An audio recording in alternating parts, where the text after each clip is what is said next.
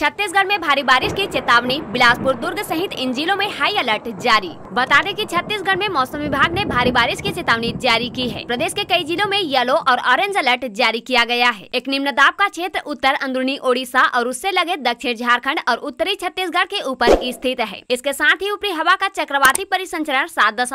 kilometre की ऊंचाई तक विस्तारित है इसके उत्तर मध्य प्रदेश की ओर अगले दो दिनों के दौरान बढ़ने की संभावना है अब तक महासमुंद जिले में सबसे ज्यादा बारिश रिकॉर्ड की गई है महासमुंद में एक मिलीमीटर बारिश दर्ज की गई रायपुर में 130 मिलीमीटर बिलासपुर में 117 मिलीमीटर मुंगेली में 100 मिलीमीटर सुकमा में अंठानवे बलौदाबाजार में बयानबे गरियाबंद में बयासी बलरामपुर में बयासी और कोरबा में इक्यासी मिलीमीटर बारिश दर्ज की गयी है आज प्रदेश के बिलासपुर पिंडरा मुंगेली दुर्ग बेमेतरा और कबीरधाम जिलों में भारी ऐसी अति भारी बारिश होने की संभावना जताई गयी है मौसम विभाग ने इन जिलों के लिए ऑरेंज अलर्ट जारी किया है ऑरेंज अलर्ट उन इलाकों में जारी किया जाता है जहाँ आरोप मूसलाधार बारिश की आशंका होती है वही येलो अलर्ट भारी बारिश के लिए जारी किया जाता है रायगढ़ जिले में एक दो स्थानों आरोप गरज चमक के साथ भारी वर्षा होने की संभावना है जबकि कोरिया कोरबा जांजगीर रायपुर महासमुंद बालोद राजनांदगांव और बीजापुर जिलों के लिए येलो अलर्ट जारी किया गया है यहाँ गरज चमक के साथ भारी बारिश हो सकती है आज और कल प्रदेश के बिलासपुर पिंडरा मुंगेली राजनांदगांव कांकेर और कबीरधाम जिले में एक दो स्थानों पर गरज चमक के साथ भारी बारिश होने की संभावना जताई गई है वही दुर्ग जिले में मानसून ने रविवार से दस्तक दे दी है रविवार तड़के से शुरू हुई बारिश रुक रुक कर होती रही इसके बाद सोमवार सुबह से फिर लगातार पानी बरसना शुरू हुआ